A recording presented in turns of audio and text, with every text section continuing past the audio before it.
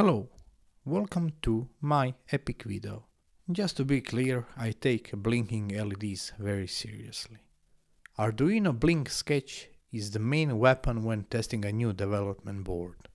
Blink Sketch was the first sketch I uploaded to my first Arduino Uno. I don't use Arduinos anymore, but I still use Arduino IDE. Many people hate Arduino IDE, I hate beans. Blink Sketch deserves to be treated with respect. So I made this Ultimate Epic Pro Blink Sketch. This is my new friend LilyGo TQT, the smallest board in the LilyGo family. The brain of this board is an ESP32S3 chip and on top we can see this 128 by 128 display. I added this potentiometer and this LED. The result is this piece of technology.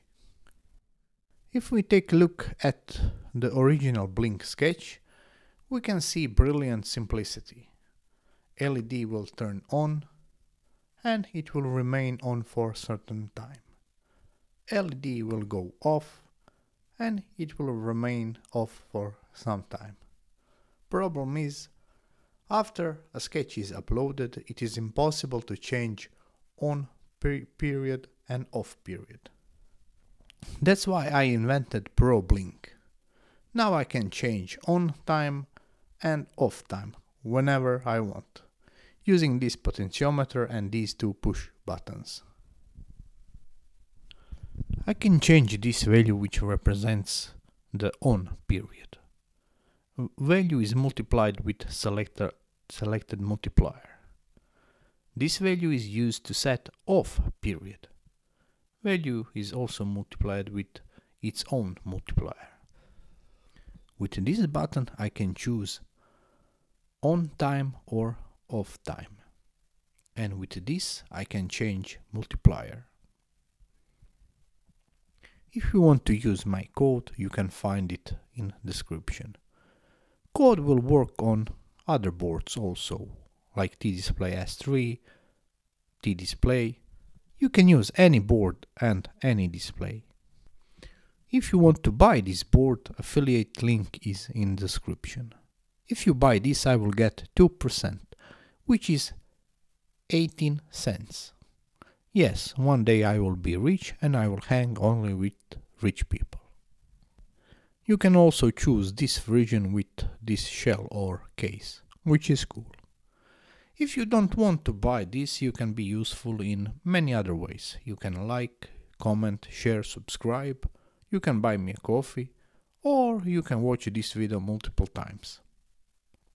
TQT is an interesting board because of its size. In this project I wanted to see what I can fit on this tiny display. It is small, but it still can show a nice amount of useful data. Mm -hmm. We have 11 free input-output pins, two push buttons and this I2C connector, which I used in my last video. You can find that video in description. There is no connector for the battery, but there is place where the battery can be soldered. And both of these cables are included. Great thing is that this board will recharge your battery if the USB cable is connected. Charger IC is under display. Once again, they used this acrylic mount for display so now it is stronger and it looks nicer. Here we have reset and here is connector for external antenna if you want better reception. Thank you for watching the whole video. Tell me what you think. Is this useful? Can this be used for something else?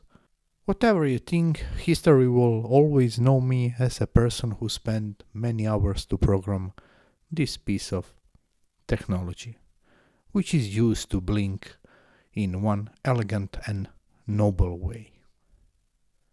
Thank you and have a nice day.